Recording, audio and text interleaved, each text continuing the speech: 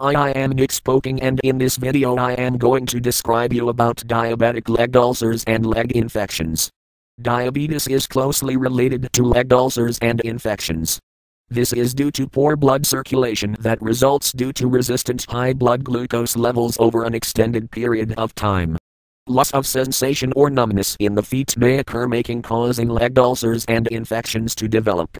Wound in dash it is a sharp injury on the dermis layer of the skin that leaves it cut, torn or punctured.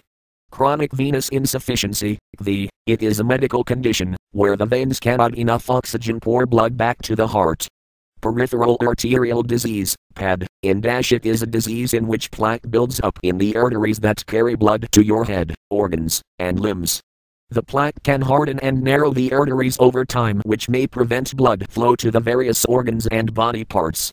Diabetic foot and dash due to persistent high blood sugar level nerves or blood vessels may get damaged, which may result in loss of sensation or numbness in the feet.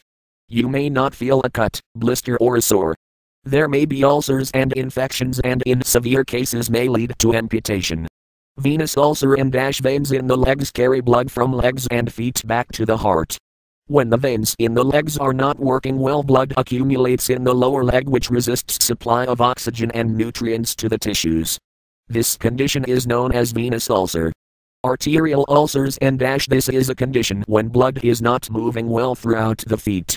This happens due to arteriosclerosis, which prevents blood flow through the arteries due to fatty deposits on the artery walls. Arterial ulcers usually develop between the toes, tips of toes, and the heels. Pressure ulcers and dash it is a common type of sore that develop due to prolonged exposure to an area of the skin. They are also called bed sores.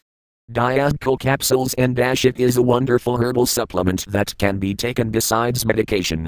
Foot care guidelines. Shed excess weight. To keep your calf muscles pumping, walk and exercise for at least an hour a day. Check your legs and feet regularly for cracks, sores, and ulcers. Make sure to moisturize every time after bathing.